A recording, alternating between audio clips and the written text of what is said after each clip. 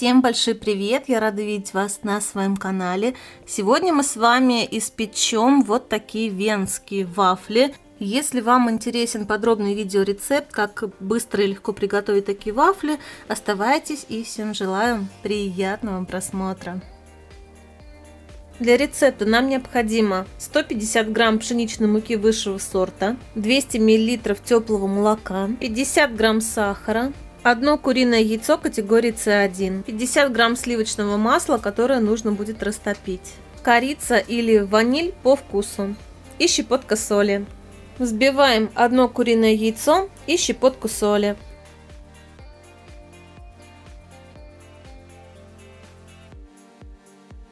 Добавляем 50 грамм сахара.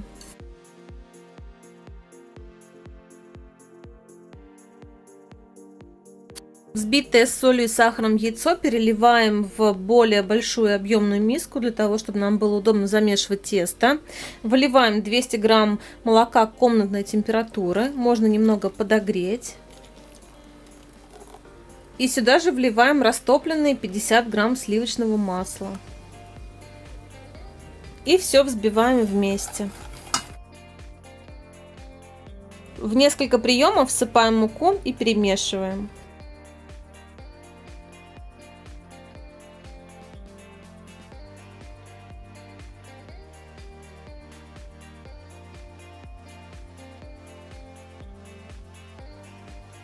Добавляем корицу по вкусу.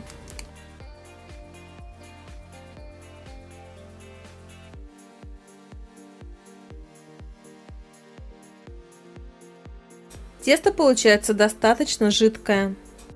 Берем силиконовую форму, я ее ничем не смазываю и выливаем тесто. Ставим нашу форму с тестом в предварительно разогретую до 200 градусов духовку минут на 20. Позже, когда уже все будет готово, я вам скажу точное время, которое эти вафли проведут у меня в духовке. Вот такие вафли в итоге у меня получились. Они провели у меня в духовке при 200 градусах ровно полчаса.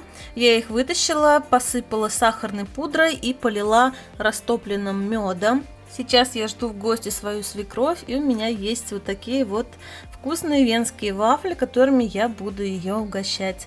Я надеюсь, что вам понравился этот рецепт, и вы оцените его пальчиками вверх.